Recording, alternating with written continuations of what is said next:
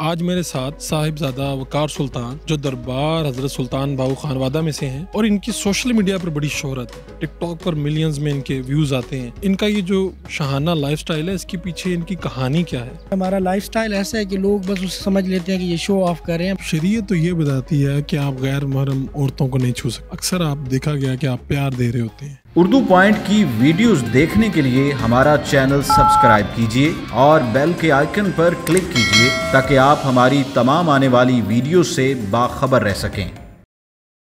वालेकुम नाजरीन, आप देख रहे हैं उर्दू पॉइंट और मैं हूँ फरुख उड़ाइच आज मेरे साथ साहिबजादा वकार सुल्तान, जो दरबार हज़रत सुल्तान बाबू खानवादा में से हैं, और इनकी सोशल मीडिया पर बड़ी शोहरत है। टिकटॉक पर मिलियंस में इनके व्यूज़ आते हैं। और यूट्यूब और दीगर जगहों पे वीडियोस बड़ी वायरल होती हैं। इनको, इनका ये जो शाहाना लाइफस्टाइल है, इसके पीछे इनकी कहानी क्या है? साहब दादा साहब, आखिर आप हम देखते हैं, मुख्तलिफ़ गाड़ियों में आप जा रहे हैं सिक्योरिटी है प्रोटोकॉल है। आखिर आपके साथ इतना प्रोटोकॉल होता क्यों है? सर देखिए, सबसे पहले तो मैं आपका शुक्रिया अदा करता हूँ कि आपने हमें टाइम दिया। और दूसरी बात ये कि सर प्रोटोकॉल या ये सिस्टम आज के टाइम में ये हमारी मजबूरी है। तो हम ये चीज़ें अगर साथ ना रखें और हमारे मामलात हैं, लोग कहते रहते हैं कि ये गलत कर रहे हैं शो ऑफ़ कर रहे हैं या ये वो, लेकिन असल में हमारी मजबूरी है, हमारे आपस में मामलात भी कुछ इस तरह से हैं कि हमारा ख़ानदान मतलब शुरू से सियासत में भी है। तो इस तरह से हमें काफ़ी मामला होते हैं जिस वजह से हमें ये सिक्योरिटी के इंतज़ाम करने पड़ते हैं। तो ये हमारी मजबूरी है ना कि हम ये खुशी से करते हैं। ये जो दरबार हज़रत सुल्तान बाहू है इन इनके गद्दी नशीन असल में कौन है? जी बिल्कुल अक्सर लोग ये कह रहे होते हैं कि मैं गदी नशीन हूँ लेकिन ये यकीनन गलत बात है। मैं गदी नशीन नहीं हूँ हमारे सजादा नशीन जो हैं साहिबजादा मुनीब सुल्तान साहब हैं। जिनको मतलब ख़ानदान की तरफ़ से गद्दी पे बिठाया गया है तो वो सजादा नशीन साहब वो हैं। आप तो दरबार से आपकी हैसियत मुंसलिक है और दूसरी तरफ़ आप टिकटॉक पे और इधर वीडियोस बनाते हैं। लोग तो बड़े एतराज़ करते हैं। इन एतराज़ात का जवाब क्या देते हैं? सर एतराज़ात का जवाब ये है, मैं तो ये समझता हूँ हर चीज़ अपने वक्त के साथ अच्छी लगती है। तो मेरे ख्याल से ये कोई गुनाह तो नहीं है कि कहीं लिखा हुआ है कि आपने कोई ऐसा काम नहीं करना। बाकी ये है कि हमारा आपको पता है कि एक ये टिकटॉक बनाना, मैं ख़ुद नहीं बनाता टिकटॉक के मैं ख़ुद बना के अपनी आई हम मेरे नाम से पता नहीं कितनी आईडीज़ बनी हुई हैं और लोग देते रहते हैं। बाकी ये है कि हमारा शुरू से एक सिलसिला ऐसा है कि हमारा लाइफ ऐसा है कि लोग बस उसे समझ लेते हैं कि ये शो ऑफ़ कर रहे हैं, बाकी ऐसी कोई बात नहीं। बाकी ये वीडियोज़ टिकटॉक पे नहीं तो फेसबुक पे कभी यूट्यूब पे कभी कहीं लोग लगा देते हैं। इसका मतलब ये नहीं कि हम मतलब कोई ऐसा गलत काम करें मुझे नहीं लगता कि इसमें कोई गलत काम है। अब लंबे लंबे बाल और उसके बाद गाड़ियों का एक झुरमट होता है, लोगों का एक झुरमट होता है आपके साथ। ये शुरू से ही यही स्टाइल रखा हुआ है आपने? जी, शुरू से ही तकरीबन हमारा ऐसे ही है जी मतलब अपना सारा सीन आपको पता है कि हमारा एक दरबारों का सिलसिला है तो उस हवाले से मतलब कि लोग इज़्ज़त करते हैं। और मैं तो एक चीज़ आपको बताता चलूँ कि मेरा जो ऐसा सोशल मीडिया की वजह से जहाँ भी जाता हूँ, लोगों का रश हो जाता है, मुझे सांस लेना मुश्किल हो जाता है। तो वहाँ पर तो लाजमन सी बात है कि मुझे बंदों की ज़रूरत है। तो इस वजह से ये लोग साथ होते हैं बाकी ऐसी कोई बात नहीं। आपकी वीडियोस आती हैं जिसमें देखा गया कि आप दरबार पे सजदे वाली बात आती है और लोग उस पर बड़ा एतराज़ करते हैं। वो क्या मामला है? सर देखें पहली बात तो ये कि सजदा अल्लाह की ज़ात के अलावा किसी को भी सजदा करना ये शिरक है। ठीक है ये तो वाज सी बात है। लेकिन मैं एक चीज़ क्लियर करना चाहता हूँ कि ये आपने बहुत अच्छा सवाल किया। अक्सर लोग मुझ पर ये मतलब कहते रहते हैं। लेकिन मैं बताना चाहता हूँ कि सजदा करने के लिए एक तो सजदे की हालत में होना बहुत ज़रूरी है। ठीक है जी?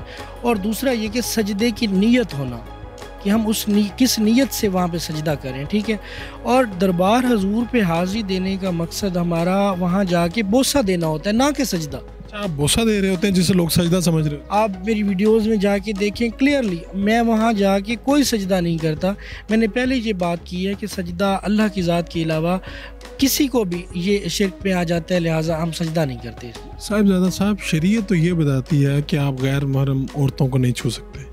अक्सर आप देखा गया कि आप प्यार दे रहे होते हैं।